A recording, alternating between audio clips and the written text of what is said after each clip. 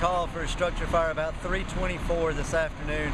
Uh, units were dispatched, reported a heavy, uh, heavy column of smoke on their way to the scene uh, from about a mile or so away. So we knew we had heavy involvement. Uh, on arrival, they did have heavy involvement in a mobile home uh, here at Pecan Point. Uh, fortunately, there was no one home at the time, so there were no injuries to anyone at the scene, no injuries to the firefighters. We were able to contain the blaze within just minutes of arriving on scene.